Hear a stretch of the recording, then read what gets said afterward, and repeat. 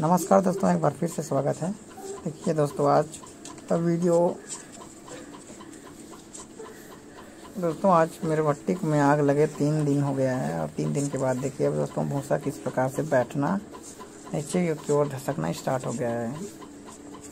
दोस्तों, क्या है कि इधर का बगल का भूसा धस गया और इधर का भूसा धसा नहीं है तो इसका मतलब है कि उसमें भाप चढ़ गया तो आपको इसे डंडे के सहारे से उसको आपको गिरा देना है, ताकि वो ऐसा नीचे चला जाए।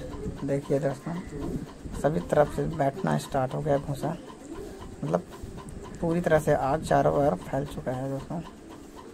आपको सावधानी से ऊपर चढ़ना और उतरना है दोस्तों। देखिए दोस्तों, ये पूरी तरह से धुआँ धुआँ हो गया है। तो आपको जो ऊपर ऊपर में जो इतना भी भूसा दिख रहा है ना, उसको आपको इसमें डाल देना है।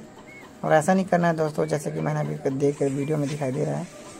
ये क्या है ना, अगर आप ऐसे आप रखोगे तो साइड का जिससे आग ना फैलने का खतरा रहेगा, जिससे क्या है ना, ऊपर से आग पकड़े चलेगा तो उससे क्या है ना कि जो ईंट है ना पकेगा नहीं, क्योंकि वो ऊपर ऊपर से आग पकड़ेगा तो क्या है ना कि भूटा, भूसा नीचे दबेगा नहीं।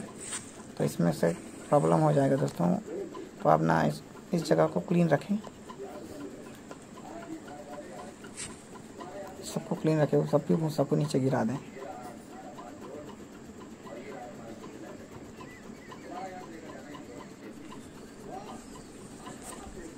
हाँ जिस जगह में ऐसा धंस नहीं रहा है वहाँ पे आप डंडा के माध्यम से हल्का हल्का सा ऐसा करके गिरा दें ताकि वो भी भूसा अंदर चला जाए। क्या है ना दोस्तों ईट में नमी होने के कारण सब भूसा में भाप आ जाता है।